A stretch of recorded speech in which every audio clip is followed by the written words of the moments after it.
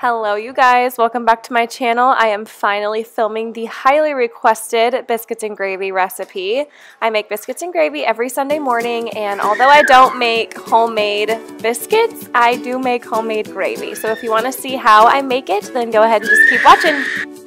The great yellow sun is reflecting in your deep blue eyes. The day has begun. You spin around, you spin around, you laugh yourself. And I see you shine in every color, resting your head. For this recipe, you're going to need one pound of maple sausage, three tablespoons of butter, some biscuits of your choice, homemade or these buttermilk brands is what I use, half a cup of flour, and three cups of 2% milk. And then also salt and pepper to taste. You're going to start out by preheating your oven to whatever the instructions say on the biscuits that you are using and then you're going to get out a nice sized pan so that way you can brown your sausage.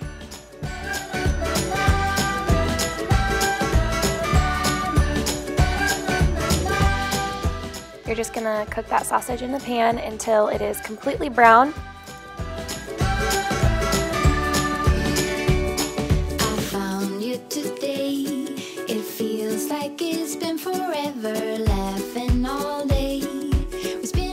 In the meantime, you can get your biscuits out and put them on a cookie sheet and get ready to put those in the oven.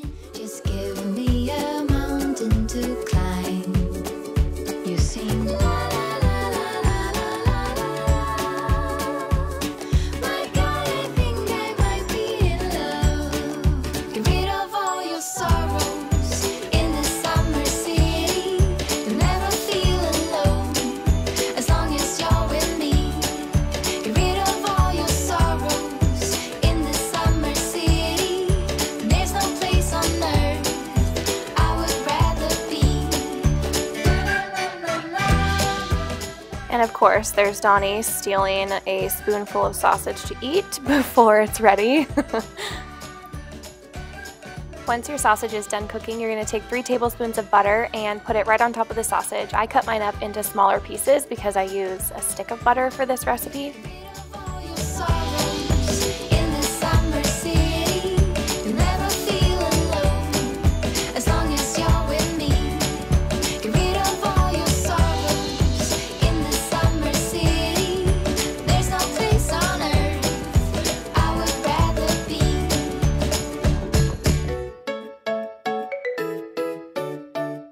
Once the butter is melted, you're going to add in your flour just to cover the top of the sausage, and then you're going to take your three cups of milk and slowly pour that in and whisk it until you reach the thickness that you want.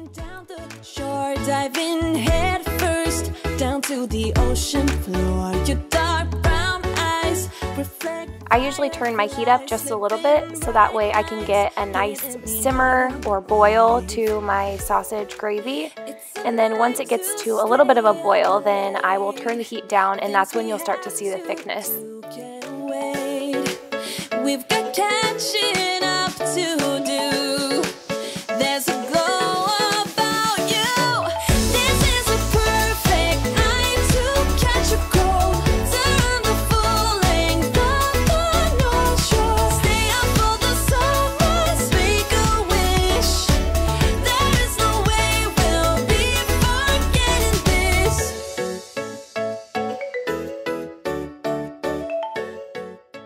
Once you get to the thickness that you like, that's when I usually add in my salt and pepper and stir that in.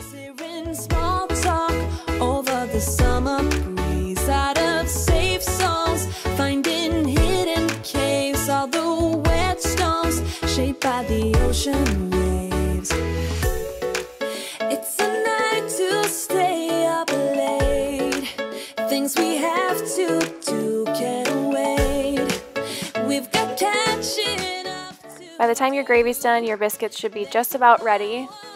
So you can pull those out and serve them up however you want to.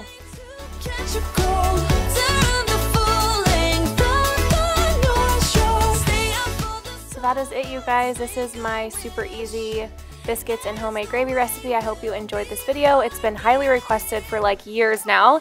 So be sure to give this video a thumbs up if you enjoyed it and leave me a comment if you guys end up making this gravy and let me know how you like it.